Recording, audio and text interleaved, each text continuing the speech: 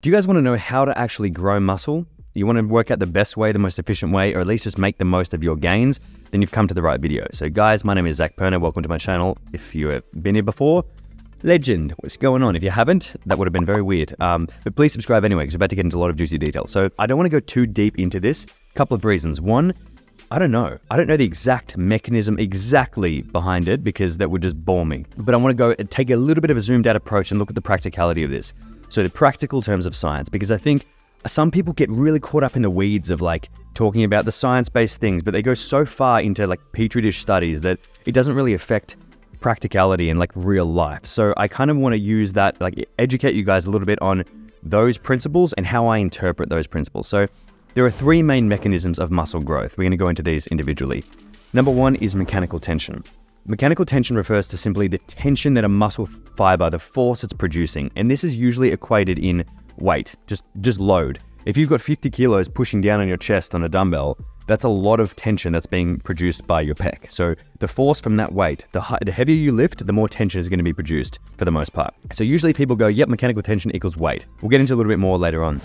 The second one is muscle damage. This is literally damaging the muscle. You can do this in a variety of ways by uh, heavy negatives, forced reps, changing up your exercise, like adding new variety in there, doing things you haven't done, doing drop sets, just kind of really, really damaging, like weighted stretching, that stuff. It doesn't necessarily equate to more muscle gain, but it is a supposed element of muscle gain. It's associated with it, and it's kind of that feeling of DOMS as well is really associated with high levels of muscle damage. I kind of see, I conceptualize muscle damage as like literally damaging, like someone like going in there with a knife and like scratching. That's kind of how I imagine it because it's not getting a lot of bang for buck in terms of repairing that damage isn't building muscle. It's the same as when you, if you were to cut your arm with a with a knife, that there's muscle damage going on there. Doesn't mean you're going to grow biceps. The third element is obviously exaggerated example, but I think it's the same mechanism. The third mechanism is metabolic stress. This is what most people just refer to as the pump. Uh, your muscles get a really tight, feeling like someone's blowing air into the muscle.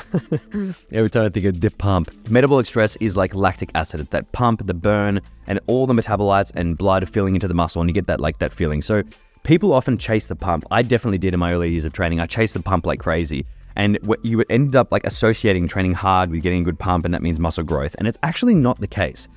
Like metabolic stress can contribute a tiny like a really small amount they believe. They've kind of gone off it a lot now in the literature. It's mainly mechanical tension but metabolic stress like that pump work is a little bit and you may as well it's kind of like not 100% sure either way so you may as well like throw it in there. That's why it's good to get a pump. Make sure even at the end of your session you can kind of do a bit of drop sets or fast pace intensity volume work. But for the most part you want to maximize mechanical tension because the biggest driver of muscle growth, just without a doubt, is mechanical tension. And this is simple. Like, we don't need to go into it too far. It's so simple. You need overload, right? Because everyone knows progressive overload equals muscle gain. Well, why is that? Well, because if you can lift 10 kilos now and you're trying to lift 12 kilos and you're really struggling to, your body's going to be like, fuck, we need to lift this. Otherwise, he'll die. It, it doesn't really know. So, that that's the change. That that's the that change is if you need to lift more now, your body's gonna go, holy fuck, let's try and lift more. So over time, you should be able to lift more. If you're strong, if you have a stronger muscle, all things considered, you're gonna have a bigger muscle. So if I can chest press 100 kilo dumbbells, my chest has to be big. It has to be. Then the wizards get in the way of manipulating form. So we'll get into that a little bit in a second. But for the most part, mechanical tension is everything because you need to maximize the force your muscles are producing. That's all it is. That's literally all it is. If you're doing a stick to the bicep example. If you're doing a bicep curl, you want your bicep to absolutely give the most force possible, which means you want it to be able to lift a 30 kilo dumbbell easily like that. Obviously, who can do that? Few people. But you want you want it to be able to lift that and produce that force because that means a bigger muscle. Just because you get a pump doesn't mean you're actually growing muscle does it? I mean, if you want to get it, I could get a pump right now. I'd literally eat a shitload of salt, heaps of sugar, have a bit of water, and just do this. And I guarantee you I get a pump. Sometimes I'm eating and I get a pump. It's just blood flow. Anyone can do that. So actually grow muscle and grow muscle tissue the way we want it to, you guys have to stress progressive overload and mechanical tension. So let's look at a problem when people train for mechanical tension. Usually that means, okay, cool, so heaviest weight possible, right? And they just go crazy lifting heavy weights. Problem with that is their form isn't standardized. Their form is now fucked. It's all out of whack and it's they're thinking, okay, well, I want to get 50 kilo dumbbell, so I'm just gonna just gonna yank them. So what happens is they use momentum, they bounce out of the bottom, they catch at the top, then back down again. There's no controlled negative. So in actuality, they're lifting heavier weight, yeah, but their pecs aren't actually moving the weight. They're a little bit of it. Of course, they're contributing, but imagine what else is. You've got gravity, you've got physics on your side, you've got momentum, you've got your triceps, you've got your joints and tendons and like elasticity of all of those. You know, you don't actually have your pecs really producing that force. So when you strip it back and go, okay, so heavy as possible, yep, that's great. For the desired rep range, around 8 to 10, 6 to even 6 to 12 is, is great. That's fine. But let's make sure the muscle itself is actually the thing doing the work. It's not just the weight moving. It's not your tendons and joints and physics moving the weight. It's the desired target muscle moving that weight. That's why when I train in my form and when I give my programs to people, I'm stressing my form very hard. And I have a very particular way of training. It's a very slow negative, it's a pause, it's a squeeze, and it's a deliberate squeeze. So, like, you don't just yank it, you start by flexing the, the target muscle. There's a, there's a lot of stuff into it. In my app, I literally have nearly 100 videos explaining like different forms. You guys can check that out below or at zacperna.com if you want to see. Highly recommend you do. But that's why form is so important because you can't just move weight. You really have to do it intently and move weight by trying to create the most force possible. By that, just it basically means is as long as it's hard. Like, does your chest burn like crazy? The whole, is it difficult? Is it does it never come off your chest in, on a bench press? Great. If not, maybe have a think about what you're doing and reevaluate how you're doing things. Um, another thing I want to talk about is what's like kind of known as effective reps. Now, I go into all of this detail, like all of this detail in my new book, Good Influence, coming out at the end of the month. Also, you'll get a lot out of this too. Um, anyway, that's my plugs done. I promise. buy my book, buy my book. Uh, anyway, so let's talk about rep ranges then. So the most effective reps, this is what kind of they're known colloquially as, are the last five reps of a set. And if you think about that, it kind of makes sense. It's because the last five reps of a set are going to be pretty difficult.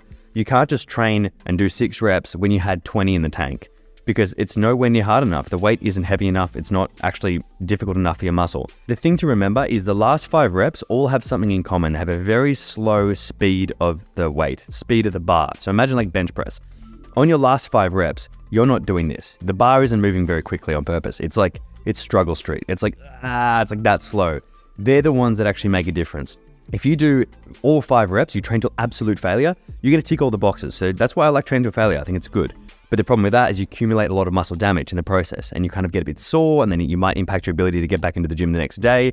And then at the end of the day, you can't really progress because you're kind of training too hard, which is not a lot of people do that, but some some do. That's why the reps in reserve training comes into play sometimes. When people go, I'm leaving a couple in the tank, that's kind of that's what they do. But for me personally, I feel like not a lot of people train to a failure or know the limit. So I think it doesn't hurt just to go to a failure where it's safe.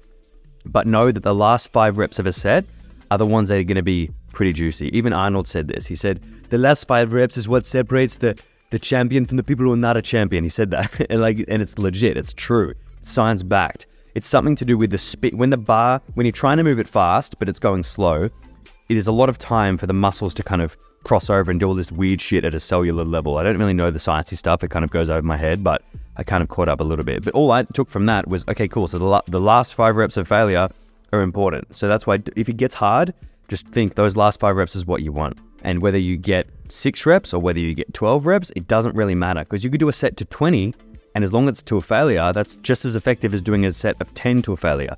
Only difference is you're accumulating more reps, which could be more fatigue and also more volume. So just something to, to consider. But in terms of muscle building, it's nearly the same kind of thing.